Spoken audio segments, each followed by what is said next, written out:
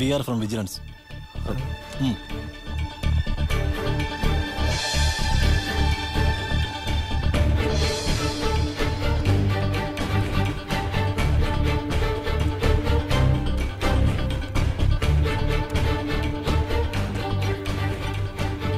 మీరందరూ కొంచెం బయటికి వెళ్ళండి.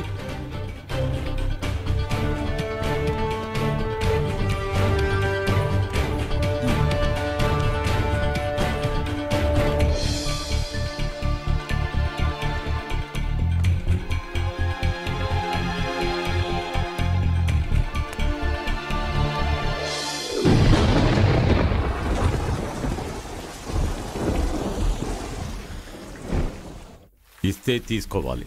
తీసుకుంటే తిరిగి ఇవ్వాలి. రావాల్సింది తీసుకుని ఇవ్వాల్సింది తిరిగి ఇచ్చేసి నా లెక్కల పుస్తకంలో వివరాలు రాయకుండా నాకు నిద్ర పట్టదని నీకు తెలుసు కదా? నువ్వు ఏ లెక్కను చెప్తున్నావో నాకు అర్థం కాలేదు. ఇంకో వారం బెడ్ రెస్ట్లో ఉండాలని డాక్టర్ చెప్పారు. ఈయనేమో బయలుదేరి వచ్చేశారు. అంతా మంచికే. ఇలాంటిది జరిగితేనే కదా ఏది మంచో ఏది చెడో తెలుసుకోవడానికి వీలవుతుంది. లెక్క తప్పు కావచ్చు. కానీ తీసివేసి కూడిక వేస్తే అంత కరెక్ట్గా ఉంటుంది. అందరి జాతకాలు బయటపడతాయి. ఆరేళ్ళప్పుడు మా అమ్మను కాదని నేను వీధిలోకి వచ్చినప్పుడు నా దగ్గర ఒక్క రూపాయే ఉంది.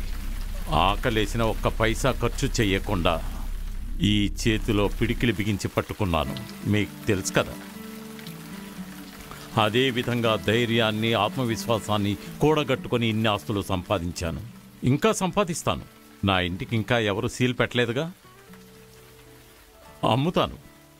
అమ్మాల్సినవన్నీ అమ్మేసి నా లెక్కల పుస్తకంలో నేను రాసుకున్న ఎర్రటక్షరాల్ని చెరిపివేసి గెలిచి చూపిస్తా. ఓటమనేది ఈ పురుషోత్సం చరిత్రలో లేనే లేదు.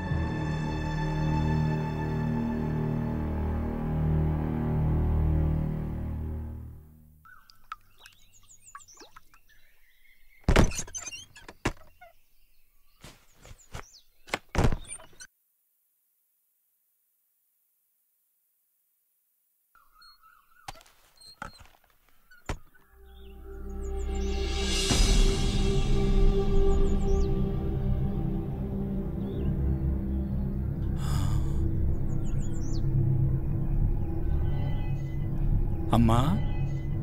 అమ్మా.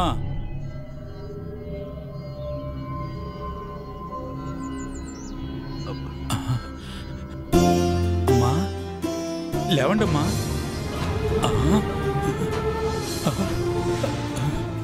అమ్మా. అమ్మా. అమ్మా. లేవండమ్మా. కళ్ళు తెరవండి. పురుషోడ్తో పురుషోడ్తో త్వరగా ఇలా రా పురుషోత్తం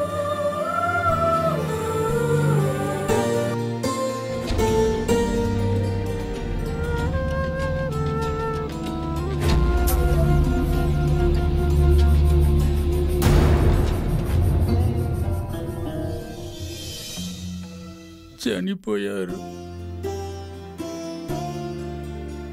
సంతోషం. అలా అనుకో. ఆమె నీ కన్న తల్లి. కన్నవాళ్ళు తల్లులు కాలేరు. కన్న బిడ్డని బాగా పెంచేదే తల్లవుతుంది. నాకసలు తల్లే లేదు. ఎవరో శవాన్ని నా తల్లిలా నేను అనుకోలేను. జరిగింది ఏదో జరిగిపోయింది. ఇక జరగాల్సింది చూడాలి కదా. చచ్చే వరకు ఆడది ఒంటరిగానే కదా ఉంది. ఇప్పుడేమైంది? రక్తబంధం కావాలా? ఏ శ్మశానానికో తీసుకువెళ్ళి మీకు పాపం అనిపిస్తే దహనం చేయించండి.